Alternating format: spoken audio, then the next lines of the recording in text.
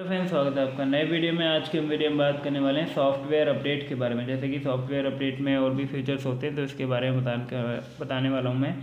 तो चलिए friends, video को शुरू करते हैं। वीडियो को शुरू करने से पहले अगर आप चैनल पर नए हैं तो चैनल को सब्सक्राइब कर वीडियो को लाइक कर दीजिए।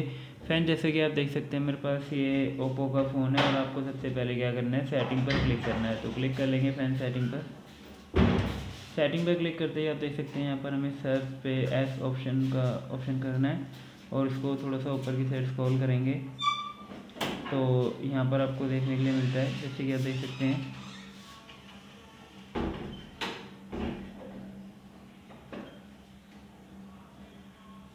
सॉफ्टवेयर अपडेट तो सॉफ्टवेयर अपडेट पर क्लिक करेंगे। क्लिक करने के बाद आप देख सकते हैं यहाँ पर अपडेट न्यू का ऑप्शन आ रहा है।